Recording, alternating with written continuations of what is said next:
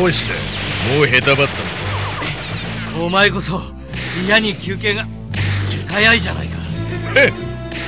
お前と違って俺はもう20人倒したからなおあいにくさま俺は今ので21人目だ。しかしプロとしては二流だな。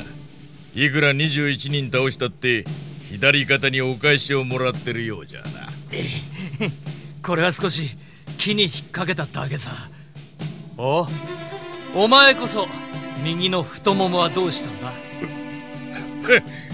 これは敵にも運のいいやつが一人ぐらいいるということだ。俺に弾をかすらせるぐらいのな。さてと。あと50人といったところか。このバズーカ3発分だな。相変わらず派手なこと。ああ？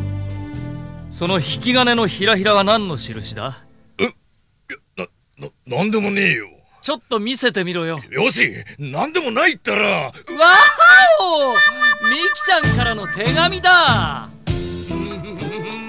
仕事道具に女の手紙をつけてくるなんてタコ坊主も色男になったもんだ。うるせえうるせえ。ミキがどうしてもって言うから。え？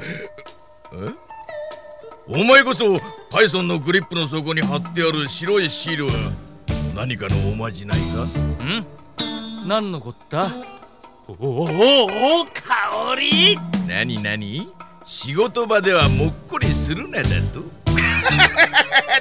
けねえな笑うなよ俺は知らなかったんだお前のは知っててお守りにしていたんだろそっちの方が情けないじゃないかちょっと待てどうやら休憩が長すぎたようだなああとりあえず15人ってとこか。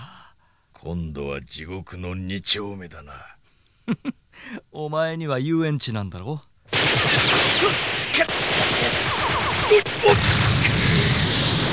数で攻めるつもりだわおスライムがいっぱいだ夜明けまで1時間また香りに朝帰りだって怒られちゃう苦労は絶えないなよし行く